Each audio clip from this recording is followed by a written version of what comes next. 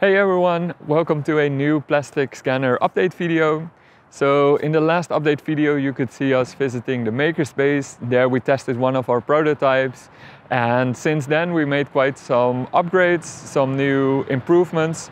So I would like to share these with you. Um, in the last video we showed you a prototype and that was a uh, FDM printed prototype. It could still have some improvements on the, on the aesthetics. So that's basically what we've solved in this one. So this one is a very nice resin print. It houses everything much better. And it's just, uh, yeah, a nice, a pleasure to work with. Um, so that is uh, one of the hardware updates of the handheld plastic scanner for laser cutting environment. Um, with that, we also improved sort of the software uh, running on this. So we made one big firmware file where it is sort of, it's now a continuous workflow. So in here there is a mode to scan known samples of plastic and uh, upload them. Then you can go to the computer, train the model, and then upload the trained model back into the device and start scanning. Um, this was a big deal for us because we wanted to make it easy for others to also scan new plastics um, and to improve or train this, uh, this model. Um, this is now all in, in sort of one package. And one of the important updates with that as well is that we made it cross-compatible for multiple devices. Sounds complex, but it boils down to something rather easy.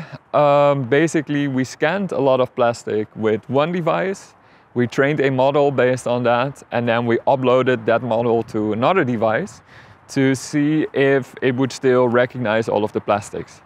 In the past, it didn't, and then you needed to scan plastic with this one, scan plastic with this one, have multiple models, rather complex and not very scalable.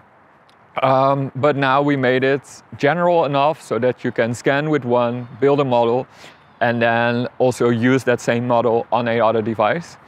So this is a big milestone for us in order to, yeah, to grow the project and to make sure that there is a, a pre-processing and a generalization of the plastic uh, types.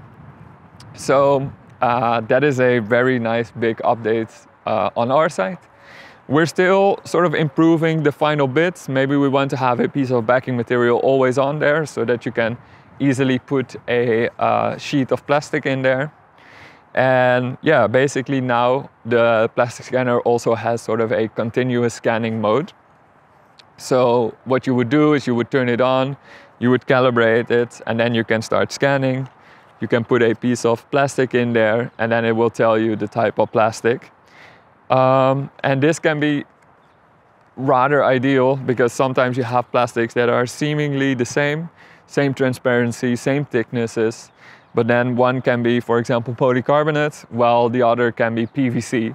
And PVC you definitely no, don't want to laser cut. Um, so this really improves with the safety of the operator if people bring in their own material for laser cutting, but also uh, helps to reduce the waste streams. Often they uh, laser cut pieces out, uh, but then they take off the foil, and they don't know what type of plastic it is anymore.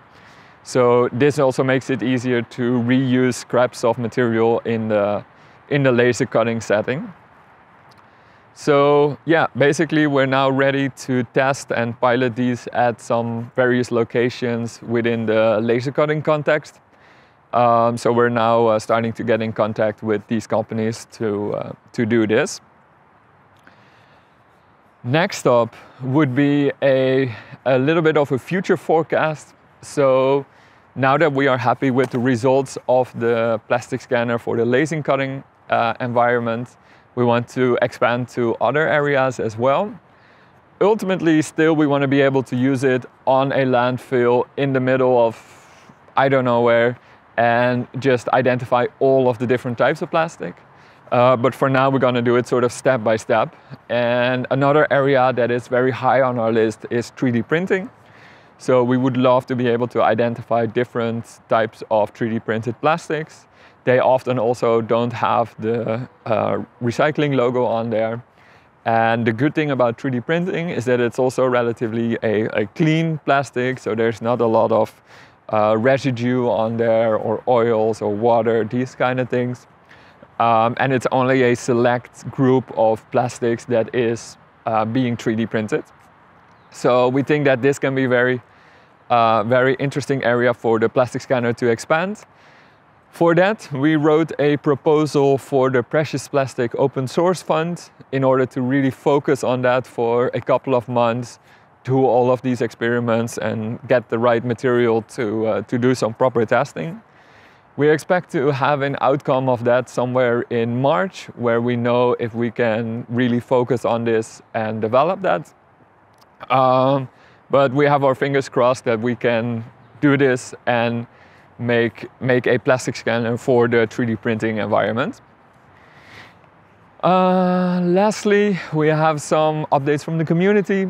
Uh, Kyle, the guy from Australia, he is working on a second prototype that can be also shipped to the Netherlands. Then we can start testing it, documenting and sharing it around.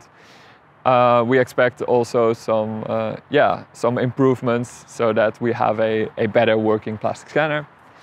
And also Sean, a software developer from the US, he helped out a lot with the PS Plot software. So that's got a revamp and we're soon gonna release a .exe file, which makes it very easy for others to use the PSPlot software. Um, for the coming months, we're gonna focus more on documentation. So we're gonna revamp the docs.plasticscanner.com website and that houses all of the information so that it's as easy as possible for you, for others to replicate the plastic scanner. For now, still only for the laser cutting environment, but over time growing to, uh, to more and more of these areas. So these were all of the updates from basically last month and, and uh, near future. Uh, when we have new updates, I will update you again with a video like this. But until then, thanks again for tuning in, for supporting the project, and hope to see you next time. Bye.